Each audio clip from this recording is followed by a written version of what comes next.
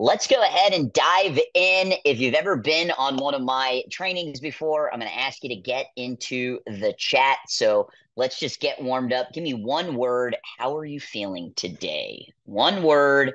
How are you feeling today? Your energy attracts energy. So, Mr. Sweeney, great. Thank you, sir. Woo! I like that one. Hello, Miss Smith. Always nice to see you on these. Miss Julia, Mr. Priam, very good, great, excited, tired. Miss Ramos, we don't have time for that.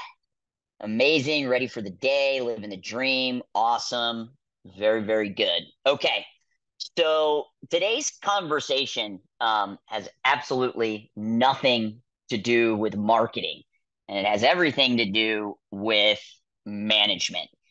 And you know, I think that for the most part, us as martial artists and and instructors, uh, you know, because we've been in the martial arts so long, like leading our students on the mat is one thing, but being able to lead and manage a team is completely different. So just so I can see kind of the size of teams that that we have, can you let me know in the chat how many team members do you have, whether it's part-time or full-time? How many team members do you have? Let's see what we're working with. Four, one, three, nine, five. Keep them coming, guys. None yet. Always like comma yet, right? 17. Awesome. Two. There we go, Mr. Concha. All right. Um, one of the, you know, one of my biggest lessons as I not only grew my team at Gracie Pack, I think at the height when we were offering after school and summer camps, uh, we had over 20 paid uh, part time and, and full time uh, employees. And then over at GrowPro, we actually just had our 34th employee start today. And I definitely downplayed the importance of building my leadership and management skills to build for like the team, right? It's it's one thing, like I said, to be able to lead your students on the mat, completely kind of different skill set in in terms of leading our employees and our staff. And uh, even if we do have staff members on here, this is completely relevant to you because more than likely you have some form of a direct report, whether it's a part time instructor and you're the head instructor and they're coming up to you, or you're a program director. And this is something that I've really focused on a lot in terms of leveling up my managerial skills and my leadership skills. And I'm excited to, to share these five principles with you. And what we're also going to be doing as we going through is I'm going to ask you to rate yourself. Okay. I want you to get brutally honest with yourself on where you are at on a scale of one to five with the each with each of the individual principles. And by the end of this, what I'd like for you to do is the one that you kind of scored the lowest on, that should be your focus on implementing the tactical items that I'll give you to, to help you with this. Okay. So let me go ahead and share my screen. Uh, boom. All right, there we go. Thumbs up if you guys can see my screen. Are we good? Awesome. All right. Not in my normal office with uh, my, I have like three screens set up. So I'm just on a laptop. So I'll do the best job letting people in and, and getting in the chat.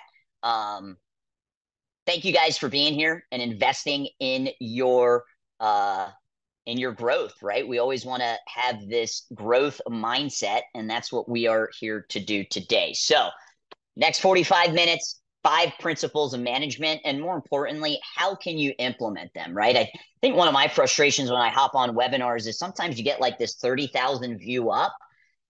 You get like the mindset stuff but you don't get the tactical strategies on on how to implement what the person is teaching and we're going to make sure that you have those tactical strategies um, today okay? So we're going to talk about the hardest decision that we ever have to make in our schools. We'll go into the five core principles, and after each principle, we will um, assess ourselves. And there's, you know, I, I, I do believe there's a difference between leadership and management, and we're really going to be focusing on the management part of it.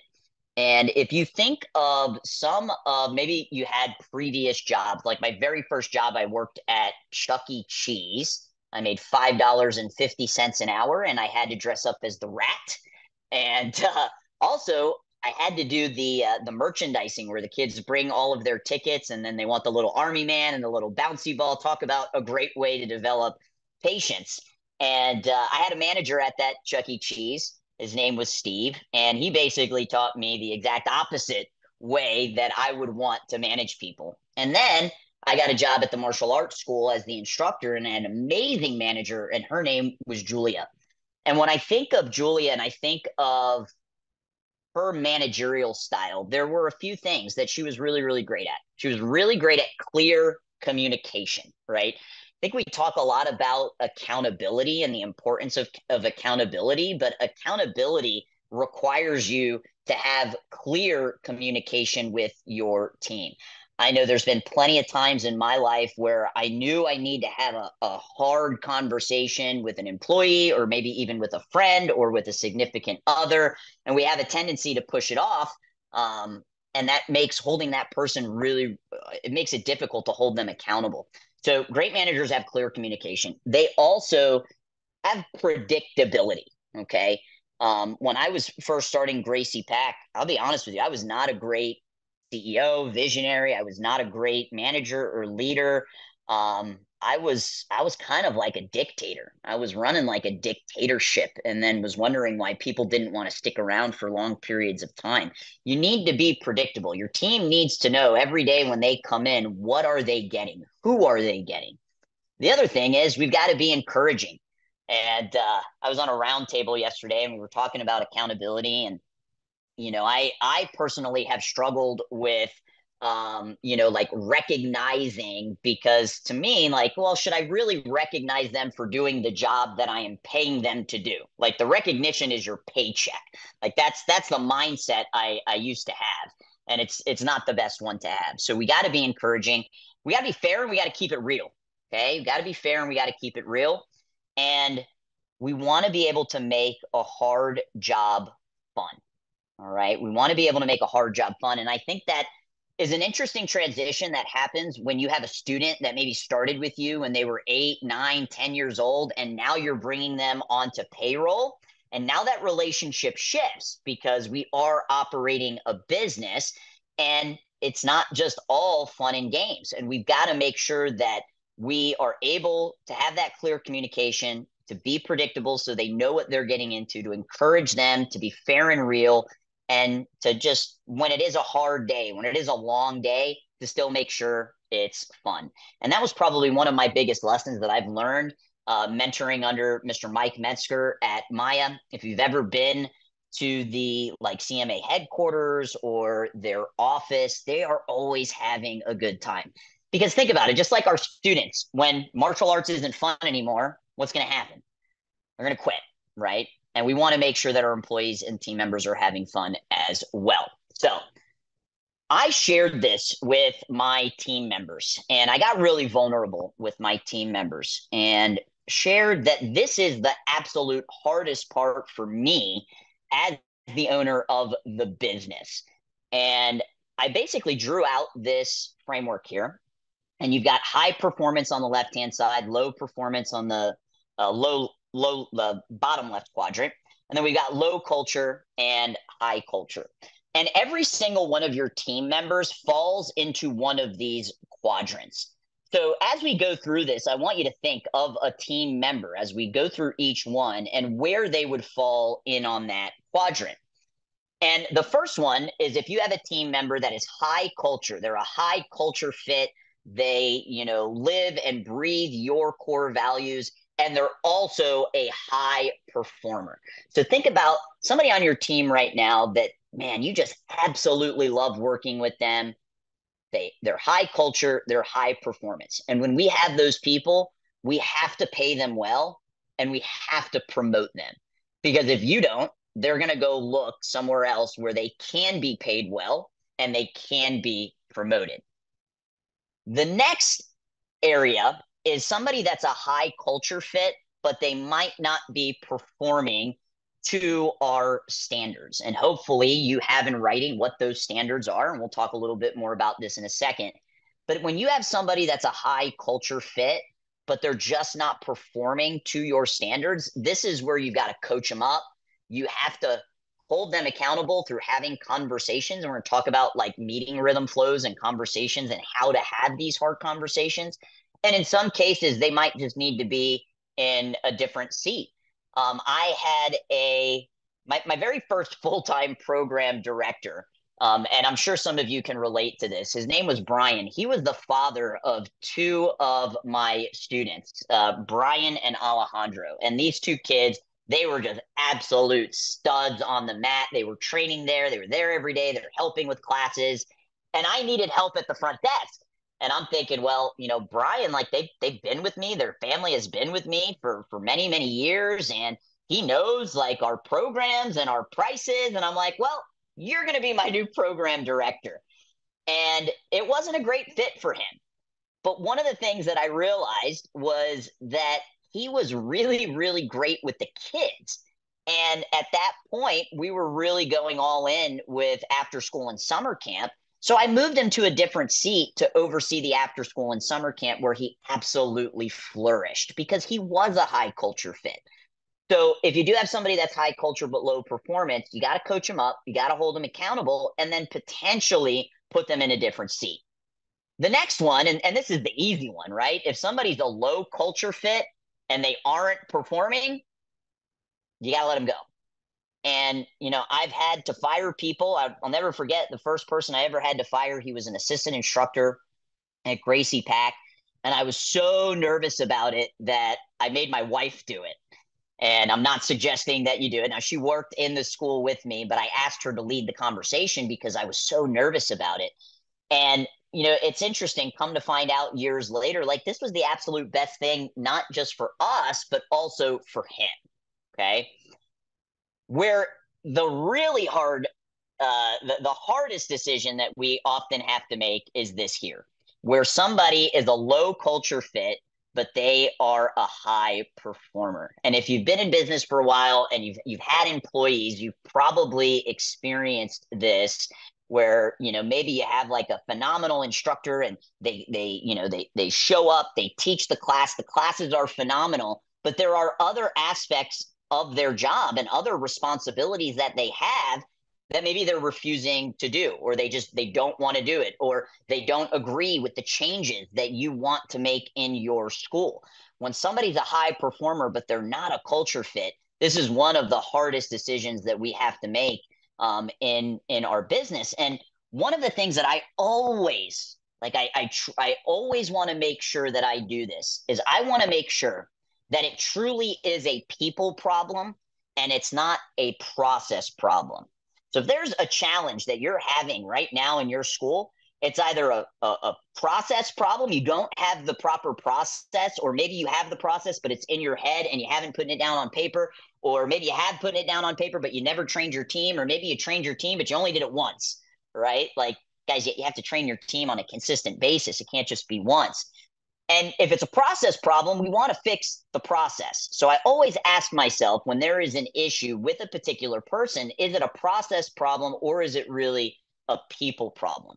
Because the hardest thing I think that we have to do is make that decision to eventually let let people go. And what we'll go through today with these five core principles of, of management are the processes that you should make sure you have in place before you make that decision. Am I going to let somebody go? All right. So let's kick it off with core principle uh, of management number one, and this is expectations. And I think for most business owners, the expectations that they haven't, you know, have for their team or the standards that they have for their team is oftentimes in their head and we got to get it out of our head. And there's a few different ways that you can set these expectations in your business. And all expectations are are the verbalization. You have to verbalize how someone should act or something should be done. And there's four different ways that you can uh, set these expectations inside of your business. The first one is core values. The second one is your core focus. The third one are the expectations that you have at the departmental level, right? So the expectations you have for your instructor team going to be different than the expectations that you have for your program director team or your summer camp team or your after school team. And then we have expectations at their individual role, right? If you have a chief instructor position, but you also have like part-time instructors and, and we use a, a pathway we have like a level one part-time uh, assistant instructor a level two a level three we have a senior instructor and then we have a chief instructor so you have to set these expectations in, in these four different places. And i think for many of you you have these expectations but they're in your head and, and they haven't been verbalized. So your core values guys you know, I think sometimes people roll their eyes, you know, when when somebody is talking about core values, and it's just because most companies' core values are just words up on a wall. They aren't truly living, breathing, hiring, firing, rewarding, reviewing by the core values. And your core values are, are the highest level of expectations that you have in the company. And I mean, we do this so much, and I'll share with you when we do our quarterly conversations, we grade our team members on are they living the core values? Like plus you're living it, plus minus, sometimes you're living it, minus you're not living this core value at all. And it really should guide everybody's behavior in in the company. And um, I think for for some schools, that do have core values they they might have just picked a couple of words that really spoke to them. There's a great exercise that you can go through. It's from the book traction by gino wickman and he walks you step by step because there's a process that you should go through.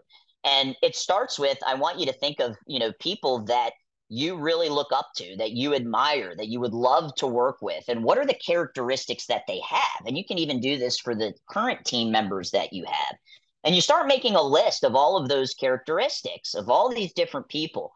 And what you'll start noticing is what I call green tails. You'll start seeing uh, commonalities in each one of those. And that's really where your core value decision on what the core values are going to be should start. So if you haven't gone through that process, check out the book Traction by Gino Wickman.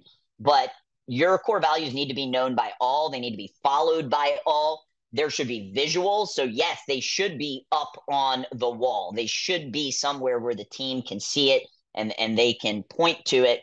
And we we hire by these. How do we hire by them? We share our core values before we even hire somebody. We share a video explaining the core values and we ask them which core value aligns the most with you. We fire by them and we use that rating system that we'll dive into more when we are reviewing and we're rewarding our team, anytime we're doing shout outs in our meetings, we always try to tie it to a core value. So This is the first way that you set expectations. The second way is with your core focus. And this is also known as a brand promise or your, your mission statement. So ours at GrowPro is, is we give school owners the freedom to do what they love. So when we're making decisions in our business, we have to ask ourselves, is this going to give the school owner more freedom or is it actually going to put more on their plate? Because if it puts more on their plate, that's not aligned with our core focus. Then you set the expectations at the department level. Okay. And this is really where the team lead has to not only be living by the core values and the core focus, right? We have to lead by example. Okay.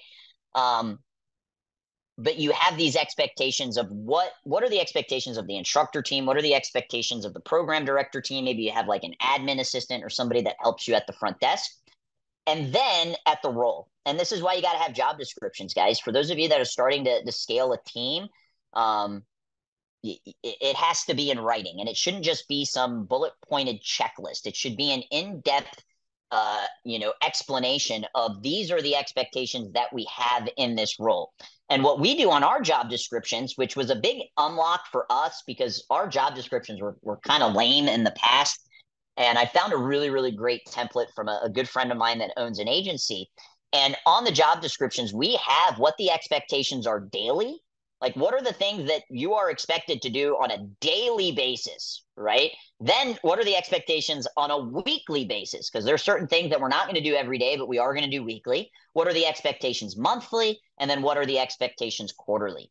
And another thing that we implemented, my program director and, and my head instructor, they use time blocking. And this is something that we sat down together and we said, okay, let's look at your job description and all of the expectations that we have on a daily, weekly, monthly, and base uh, and, and quarterly basis. How can we build a day to day time block for you to be able to successfully uh, do your role. So these are the four ways that you can set expectations in your school. And it doesn't matter what type of business that you have, it all works the same core values, core focus, department, and role.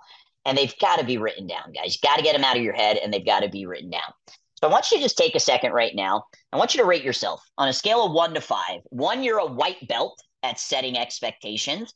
Five, you are a black belt at setting expectations. And just take a second and hopefully you're taking notes because if if you don't write it down, you're not going to remember it, guys. Um, so go ahead, rate yourself one to five, and if you would love to, I'd, I'd love if you could, if you, you, felt comfortable sharing. There we go. We got some people sharing. We got some twos, some ones, some twos, a four. Awesome. It's important that we reflect on this, right? Um, doing you know daily reflections, weekly reflections are, are a great way for us to see where we're at and can let us know what what we should do moving forward. All right, awesome. Very good. So, core principle number one of managing a team, you've got to be able to set expectations and they got to be written down. The second one, the A word, the accountability word. And um, I'm really excited to, to share tactical things that that you can implement. So for expectations, if you're scoring yourself low, you got to get your core values. You got to get a core focus you have to get those job descriptions and set them at the departmental level and at the role level. That's the tactical stuff that you need to do. Accountability is basically how you're doing versus how you are supposed to be doing. That's all it is. Like, this is how you're doing, this is how you're supposed to be doing. And in some cases, there's a very, very small gap or maybe no gap at all. And in other cases, there's a large gap. And feedback through communication is how we close that gap. That's all feedback is. It's a way of getting us from where we are to where we want to be. And you know, like if you want an official definition, the the quality or state of being responsible for your actions. And you know, we throw this like CEO term around chief executive officer, and what you really need to be is a chief accountability officer. So if you are currently experiencing maybe low revenue in your school, low enrollment, you're not hitting your upgrade nomination numbers or your upgrade, um, you know, enrollment numbers or your renewals. If you have a high attrition, anything above five percent, guys, that is that is a, a a sensor that's going off. Like, hey, we got to focus on lowering the attrition, and the attrition is just the percentage of students that you are losing every month. 5% is the industry standard. So if you are above 5%, probably are lacking some form of accountability. There was this really cool study that was done in, in the fitness industry. And they took a group of people over the holidays, the Christmas holidays, right? Where everybody's giving you gifts. I know all of you get gifts from your students, and it's cookies and candy and hot cocoa and all of those things, right? So oftentimes it it can be easy to increase our caloric intake during the holiday break. And they took two different groups of people and they said, Group number one, what we want you to do is just step on a scale every morning and write down what your weight is. That's all you got to do. Wake up in the morning, step on the scale, write down what your weight is. Group number two, they just said, do, do whatever you normally do during the holidays. So they did not get the instructions of stepping on the scale over the course of the few weeks of the holidays, they came back and group number one was down 1.9 pounds, and group number two that wasn't stepping on the scale was up 4.9 pounds. The only difference was they asked group number one to step on the scale and write it down. And the reason why I tell you this is because you are the scale, right? The scale gives us feedback, it gives us data, it lets us know how we're doing. You are the scale for your team. And this is how we are able to start holding them accountable. So, what's the tactical way of doing this? Well, number one, we talked about the expectations. You got to have your values and you got to have the job description. Kind of hard to hold somebody accountable with something that you've never put down in writing. I mean, we even have our team members sign off on their job descriptions when we onboard them. You got to have expectations. And then there has to be some form of measurement. And we do this through KPIs. We call it a scorecard. And we do a weekly meeting with our team. And there are numbers that they have to report. There's specific numbers that the instructor has to report, specific numbers that the program director has to report, specific numbers that the the uh, owner has to report, because the numbers tell us a story in our business. And if you are the instructor, and we have set the expectation that you are supposed to be sending out um, let's say 10 good job postcards a week, right? I'm just making up a random random KPI here. And we go to the meeting and you tell me you only sent out two, or you sent out zero, or you sent out seven. Okay, well, those numbers are telling me a story that you are not following through on the expectations that we agreed to. So your full timers should have a scorecard. Esteban, this is fired. Thank you, sir. Appreciate that. And then you got to give them feedback. You got to tell them, tell them how the expectations and the measurements are going. Set the expectations, ask them to give you a measurement, and you guys as a team will determine what those KPIs are. And then you give them feedback on it. And this is how you hold people accountable. But if you don't have the core values and you don't have job descriptions if you're not requiring team members to report numbers and then you're not discussing this with them on where we're at and where we want to go, you're not going to be able to hold them accountable. Okay. So, what can we also do to improve accountability? Let's say, you know, the numbers aren't where they need to be.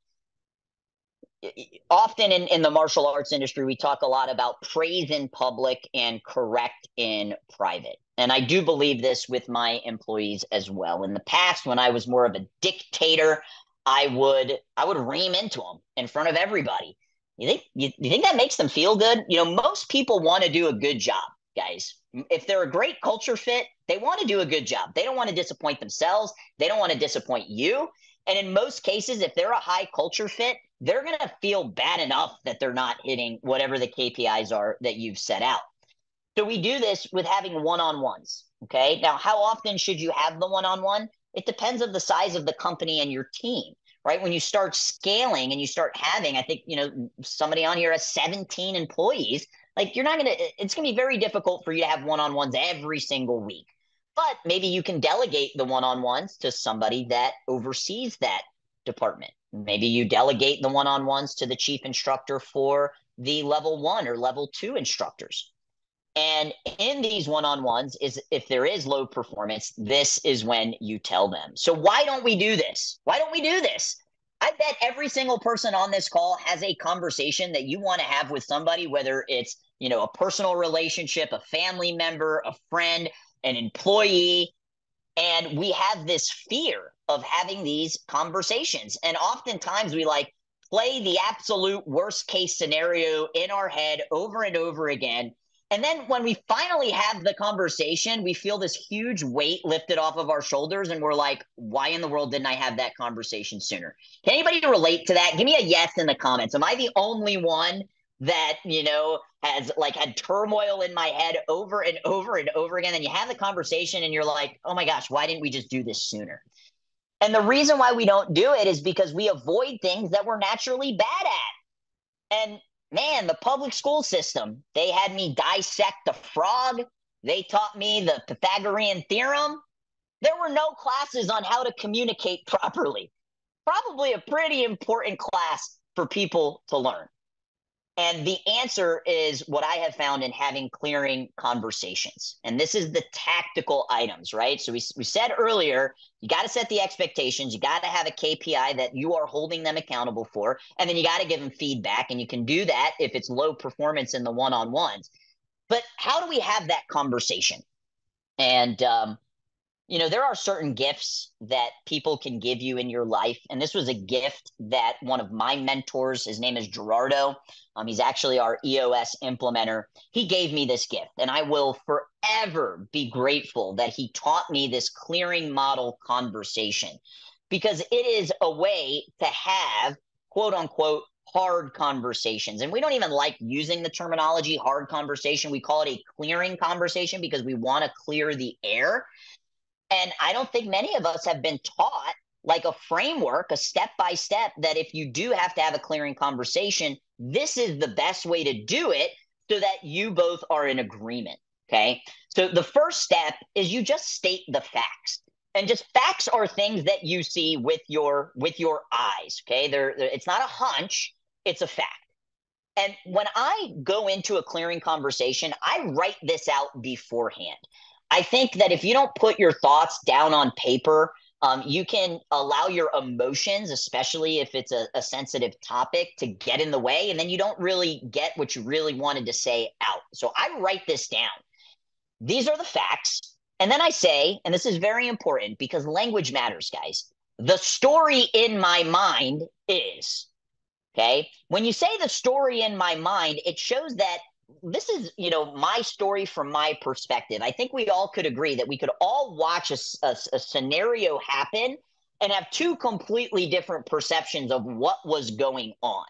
So the story in my mind is this and then you got to get vulnerable. And i think this is very difficult in the martial arts industry. We you know kind of have this like alpha machismo like you know don't show your feelings we're supposed to be strong and be able to fight anytime I've gotten vulnerable with my team, there has been a beautiful outcome on the other side of it. So I share these are my feelings. This is how it makes me feel. Okay. So you state the facts. This is the story in my mind. These are my feelings. And then finally, these are my expectations moving forward. And then you have to give the other person an opportunity to do this. And this is a staple of, the way that we communicate in our company. We have this uh, graphic here blown up in our conference room, and we have done trainings with our team on how to communicate when we need to have these clearing, AKA hard conversations. And I use this in my marriage. I use this with conversations with my older children. And it has been just one of those, you know, game changing frameworks that we have implemented in our company because your company is always going to have problems and challenges and, and things you're going to have to overcome. People are never a box you just get to check off in your business, right? We have like this to do list. Like you never just get to check off the box that says people. Okay. And if you can train your team on how to properly communicate with each other through using a framework, it makes holding them accountable a lot easier. Okay. So I'd love just maybe just for a second, what was your what was your main takeaway with this? Let, me know uh, in the comments. Any takeaways from this? Um, maybe it was you know the the language of using the story in my mind. Maybe it's yeah, you know I, I don't really get vulnerable with my team because I think sometimes people look at vulnerability as a potential weakness, which it's not. It's actually a superpower that you can have. But any takeaways from this? The story in my mind doesn't equal facts. Clearing model, clear process, awesome. Be human, be vulnerable. Clarity is power. Like the clear steps, awesome. Thanks so much, guys. So this is a tactical thing that you can implement to help hold people accountable and make hard conversations not as hard. And then we have what we call quarterly conversations. And you should be reviewing your team members. Do you guys review your students when it's time for them to earn stripes and earn belts? Of course you do, right? It's a it's a feedback loop. It shows them where are you progressing? Where do you need help? You need to be doing this with your team as well. And we changed the language from a quarterly performance review because sometimes people freak out. Like quarterly performance review i got to do this four times a year. We changed it to quarterly conversations because language matters. And you guys we're going to send the recording out and you'll get access to these slides so you'll have it but this is a breakdown of our quarterly conversations. This is the one for Gracie Pack. It has our core values on there. We ask them what's an accomplishment or something they're proud of. What core value did they highlight this year? Um, and then this is where we rate them on the core values. Lead, we lead from the front. Is this person leading from the front? If 80% of the time they are, they'll get a plus. 50% plus minus. Anything less than 50% a minus. If we have a minus, man, we've got to do some drastic changes. We will not accept two minuses in a row, two quarters in a row. You will no longer be on the team. So we rate them, but we don't rate them first. We ask them to rate themselves. And you know what's interesting, guys? And I've seen this time and time again. Your rock stars, your A players will often rate themselves lower than what you rate them. And you're not rock stars, you're C players, you're B players, they will often rate themselves higher than what you rate themselves. It's very interesting. We've seen this over and over and over again.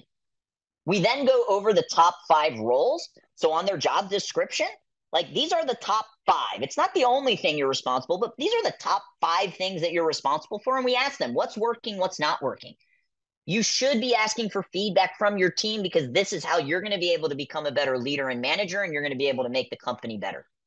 If there are any resources for improvement, maybe there's a book we want them to read, or there's a podcast we want them to listen to, or hey, we'd really like for you to come to the next MAIA event. You're going to write that in. If they had any projects for the quarter, we uh, we put that in.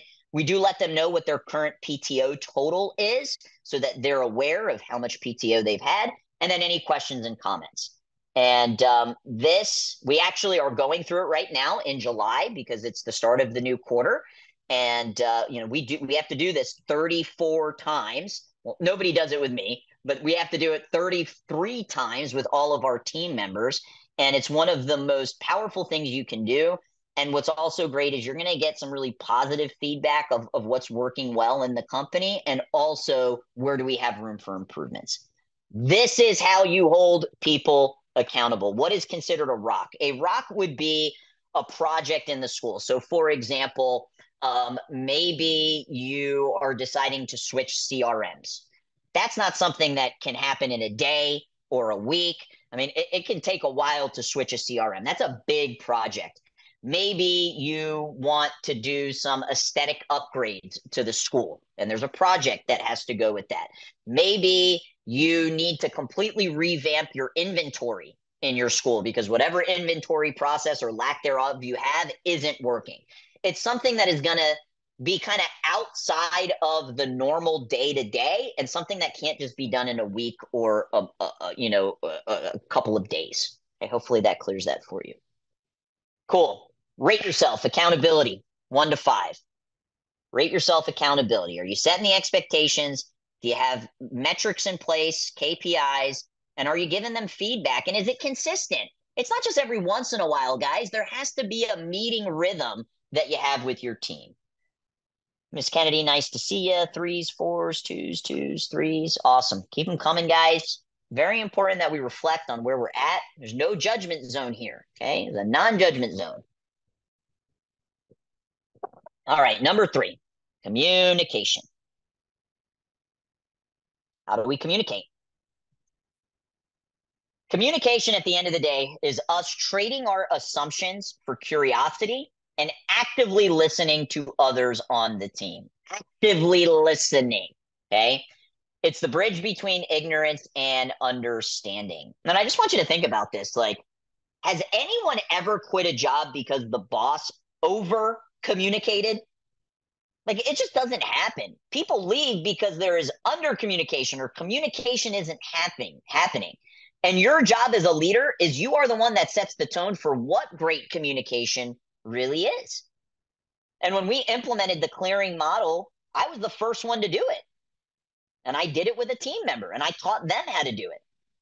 And the single biggest problem with communication is the illusion that it has taken place we're in our heads all day long, guys, right? We see maybe we see an instructor go to take out the trash and they're dragging the trash on the floor. So what happens? It leaves like a streak of mess on the floor, and we see it and we think in our head like, what? Why can't they just pick up the trash bag? Like, why? Why did? Why do they have to take it out that way? And then we see them do it again, and then we see them do it again, and you're communicating this in your own head to yourself. Maybe you're even complaining to somebody else, your spouse, about it but you don't communicate with the person. That is the biggest problem with communication is that there is an illusion that it has taken place. So there was this amazing study done by MIT and they wanted to see the effects of communication on a business. This is probably one of my all-time favorite studies. So they took 30 businesses and everybody in the company, they made them wear a badge over their it was like a lanyard with a badge over their neck and what the badge did is it tracked their comms. How often are they communicating?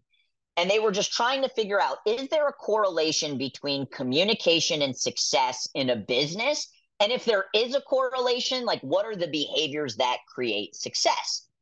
And what they found was that communication in itself was a greater predictor of success than individual intelligence or skill level of the team. What? Like, you don't have to have the smartest team. You don't have to have the most talented team. But if your team has great communication, that is a greater advantage to be successful. But how often are we training our team on how to have great communication? Probably not very often. So in this study, and and before I dive into it, um, this is one of my absolute favorite quotes. It's by Tim Ferriss. He read the book The Four Hour Work Week.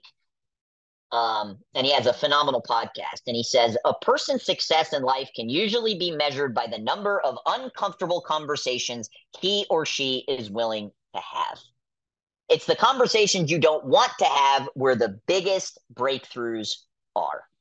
I just absolutely love that because I've experienced this. I've experienced where a relationship, uh, whether it be with an employee or, you know, in my personal life, is on the rocks. And it's just because I was like, didn't want to have this uncomfortable conversation. Right. Guys, like, I'm to get vulnerable with you here. For those of you that have been following me for a few years, what did I always have on my head? I always wore a what? A hat always wore a hat. I got 30 hats right now. I have not worn a hat since I cut my hair. Do you know one of the reasons why I waited so long to cut my hair was because I didn't want to have the conversation with my mother. My mother is Spanish. She's always told me since I was a little girl, you know, Spanish women, you have long, beautiful hair. You should never cut your hair. I didn't want to have that uncomfortable conversation. So I waited 30 years. I've wanted to cut my hair since I was like nine years old. I waited 30 years to do this thing because of this uncomfortable conversation. And I finally just had it and I cut my hair. And now when I look in the mirror, I finally feel like I am me. How crazy is that? most of us have some something like this where we are just putting off this uncomfortable conversation and i had the conversation this huge weight lifted off my shoulders i went that day cut my hair and you know so I, like it i'm digging it gotta have the conversations okay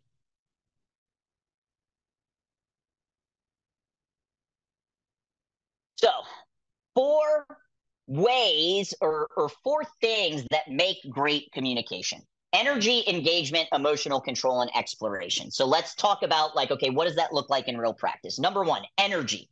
The number of exchanges with your team in and out of work. And it could be verbal exchanges, it could be nonverbal, like a high five, a fist bump, a wink, a smile. Those are all nonverbal ways to communicate. And then there are verbal ways, whether uh, you know, it could be written digitally, whether you send them a Slack message or an email or a text message. It could be in person. It could be liking their social media, commenting their social media. Every time one of my team members posts that they're in the gym, I'm in there. I'm, I'm communicating with them, tagging them on social, right? Thumbs up, faces that you make. So the number of exchanges that you have is part of what makes great communication. And then you have the engagement aspect, which is the distribution of energy to your team. And we all have A employees, we all have B employees, we all have C employees. And oftentimes it's the employees that aren't performing as well that we don't necessarily uh, try to engage with as as much. We typically focus on employees um, that we really like, we just get along with better, and you gotta you gotta make sure that that distribution of energy is going to everybody on the team. What also makes great communication is emotional control. And this is why anytime i'm having a clearing conversation i write down my thoughts so that i don't allow my emotions to get in the way how well can you and your team manage and control emotions okay there's going to be conflict in your business we want it to be healthy conflict right? How we're able to stay calm when we're handling communication issues and not reacting, not reacting emotionally. And it doesn't mean that you can't feel pissed off. Trust me, there are plenty of times where I come into work, Somebody does something and it pisses me off. I just don't project it. And then the final thing that makes great communication is exploration. And this is when your team engage outside of their core teams. And this is why I'm such a big fan of doing like quarterly out or, you know, you could do monthly outings, you could do quarterly outings with the team, um, making sure that they're communicating well together, cross training. Like, do your instructors really know what the program director does? Do they really know? Does the program director really know what it's like to be an instructor? when you share that with them, they start having more empathy for each other because oftentimes, like the instructor's like, oh, well, I'm running this place. Well, yeah, but people aren't going to, you know, we're not going to be able to pay bills if we're not signing up new people and, you know, doing all of the things that the program director has to do. So these are four things that make great communication, the number of exchanges. So I want you to think like, are you doing a great job verbally and non verbally with the ener- the amount of energy exchanges that are occurring with your team? Are you engaging with everybody on the team? Are you emotionally controlling yourself in maybe difficult situations? And are you ensuring that everybody on the team is communicating together, doing things like cross training and shadowing, and also doing quarterly um, or monthly outings? So go ahead and rate yourself on communication. And as you rate yourself, Mr. McGraw, how far ahead of meeting do you ask employee to fill it out? Uh, so we keep the quarterly conversations in our Google Drive, which everybody has access to, so they can access it at any time. Um, but we, you know, when we schedule it, we schedule it about a week in advance. We'll tell them like, hey, make sure you put your thoughts down on paper for the quarterly conversation. Awesome. Keep the ratings coming in, guys. Cool. Okay. Next one, meetings. Meetings. You either love meetings or you hate meetings. And if you hate meetings, it's just because you're not good at meetings. So, the meeting, the heartbeat of the team.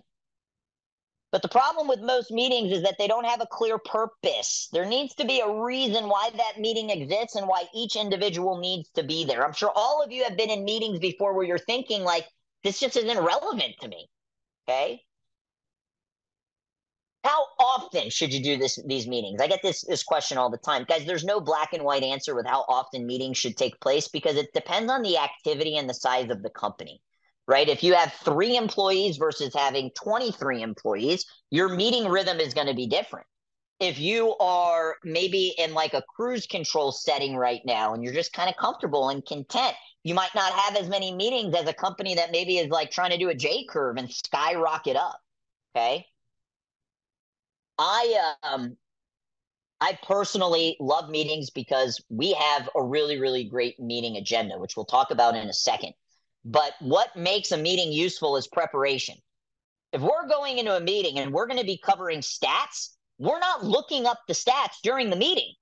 The stats should have been looked up beforehand, should have been written down somewhere, whether it's pen and paper or spreadsheet or wherever. And and what I don't want you to do is go into the meeting. Oh yeah, the numbers are on the CRM. When they ask me how many enrollments, I'll just look in the CRM. No, that's going to take time. It's not efficient. We all have curriculum and lesson plans, correct? Let me know, yes or no. Do you use a curriculum and lesson plan in your martial arts school? Let me know in the comments, please. Yes or no.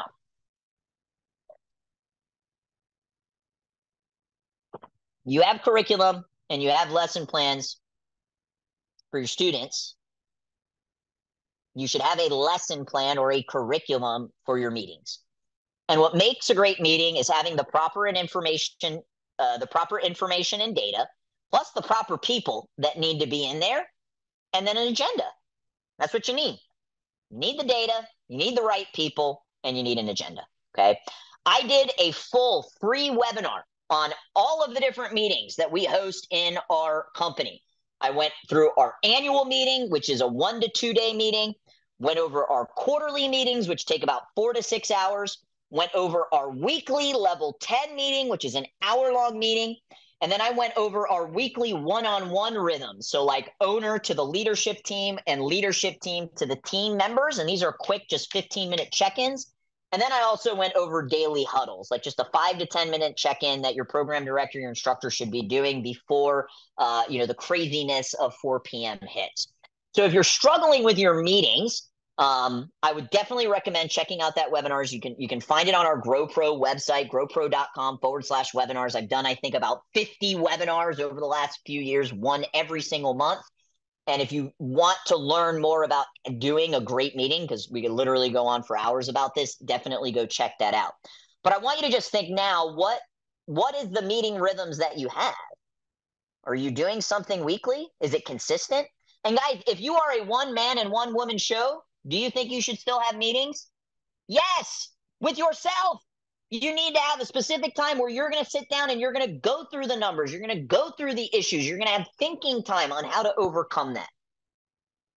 So take a second and I want you to rate yourself on your meeting rhythms. One to five, Five. how are you doing?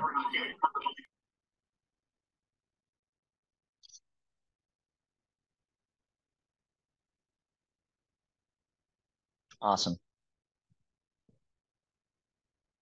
Cool. All right. So we all have some room for improvement. Last up, recognition. This is the fun one. Last up, recognition. When we see somebody whose behavior supports the company's goals and values, that is when it's time to recognize and acknowledge them. Recognition should emphasize behavior and it should be specific. It shouldn't just be good job. Maybe you see one of your instructors doing a sniper chat with one of the parents after class. A sniper chat is just a quick check in, 30 seconds with the parents, giving them feedback on how well Johnny did, or in some cases, maybe some room for improvements. And maybe you you walk by and you overhear this conversation. That supports your company goals because that's going to help with retention and keeping your students longer and increasing their lifetime value. More than likely, that level of communication with the parent is probably going to fall into one of your core values in your school. You need to recognize that because when you recognize the behavior and you give them a high five or you get very specific, like, oh, man, I really loved how you stepped off and, you know, you called Mr. Smith by his appropriate title and you were very specific on, you know, uh, praising Johnny because he was being a really great team member to a, a boy that was struggling with the technique. That is a behavior you want your team members to do over and over again. You got to recognize it. And when you recognize your people, you will reduce your turnover. It'll improve your culture, your profitability, the engagement, and it will also help you attract other top talent to your schools. You got to recognize, guys. And we we typically do a really great job of this with our students, but are we doing it with our employees and how consistent are we? So when should you recognize? when an outcome occurs, right? If there was a completion or a project or a goal, like, man, all right, we, we knocked that project out of the park, checked it off. An effort, maybe the behavior that achieves the result. Maybe we have like a long project. Like I said, maybe you're trying to redo your inventory process. And part one of the process was researching maybe new cubbies. And they were able to give you three different options for cubbies with three different price points. Like that is a, a project that might take a really long time, but they're putting in the effort to help us get closer. They're hitting those milestones. Milestones such as their birthday and their work anniversary. Guys, you got to celebrate that. It doesn't mean that it needs to cost you any money. A simple card, a handwritten card on somebody's birthday or their work anniversary is incredibly powerful. Now, we do have specific things when it is somebody's birthday. Um, on their job application that they're they're filling out we ask them what their favorite treat is and what their favorite drink is. And on their birthday we give them to that. So maybe like they said twizzlers and a diet coke. Maybe you know not the healthiest but we said treat. So when they show up for their birthday there's twizzlers and a diet coke there. What does that cost us? Five bucks right we do larger items for anniversaries um, so on their one year work anniversary two year three year four year um, and we do that for for full time workers. We will acknowledge part time workers, but we actually give a gift for full time salaried employees. So the chief instructor, the senior instructor, the program director, um, and we have specific things. And it you know gets cooler and cooler the longest that they've been with us. And then anytime they're abiding by a core value. What should you do? It could be a formal recognition, something that is predetermined, right? Like the anniversary that's predetermined, the birthday that's predetermined. It can be spontaneous let me tell you the power of a handwritten card that comes from the owner just out of nowhere, not on a birthday, not on a work anniversary, but just because, right? For those of you that are in relationships, how does that feel when your spouse leaves that kind of just because post it note, right? When I travel, sometimes my wife will put a card in there and I, uh, you know, I get to the hotel room and I open up my luggage and I see it and it just absolutely warms my heart. So it could be handwritten, it could be gifts, it could be company, uh, you know, swag. It could just be a shout out in a meeting. Okay. How should you do it? You can do it written. Okay. You can put it on social media. That's one of one of the best social media organic campaigns that you can put out is highlighting your team members. They get the absolute best engagement on social media. Uh, it could be verbal in meetings, so in a group meeting if we want to praise somebody, or in a one-on-one. And then it could be an actual reward, right? Whether that's a bonus or a, a planned activity. Um, I have one of our team members is really, really great with graphic design, and sometimes I'll I'll give her some kind of side quests that uh, are outside of her normal role. And I recently had her do this for me, and I found out what her favorite restaurant was, and I gave her a $150 gift card to go to the restaurant. Okay. So it could be an actual reward. The one major takeaway I want you to remember is that recency beats intensity just because you decide, okay, we're going to get them a birthday card and, you know, maybe we'll, you know, get them something on their anniversary, like that's only going to happen twice a year, right? Once on the anniversary and once on the birthday. The recency of the recognition, the recency of the shout outs, the verbal, the posting on social media, the high fives, the fist bumps, the specific praise that you give them, either one on one or in a meeting setting, that is what is most important. It has to be recent. Now, it has to be earned, guys. I'm not telling you to, you know, give a good job just to give a good job. It has to be earned. But recency beats intensity with recognition. One of the things I'm, I'm well known for, it was actually the very first time that I ever spoke to the martial arts industry at Steven Reinstein's Market Muscle event back in 2019 is I talked about the customer journey that our customers go through. There's six stages that all of our customers go through. And there's also stages that your employees go through. So we actually turned our customer journey into an employee journey. And this employee journey has those same six stages. Like how do we get how do we get potential new hires aware that we're hiring or that who our company is? How do we get them to consider working for us? What does the hiring process look like? Then how do we onboard them? How do we keep them? And how do we turn our employees into advocates of our company? And this is something that you absolutely should have for your customer base. But when you start growing a team, you need to start looking at how can I serve my team members at each one of these stages as well. So I'd love to know on a scale of one to five, recognition, rate yourself. How are you doing with recognizing your team? Seeing some higher numbers this time. I like that.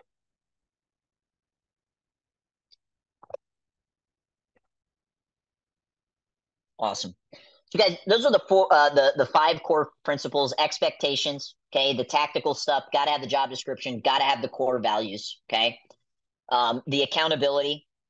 This is implementing clearing conversations. If you have to have hard conversations, this is making sure your team members are responsible for KPIs, and this is giving them feedback based off of it.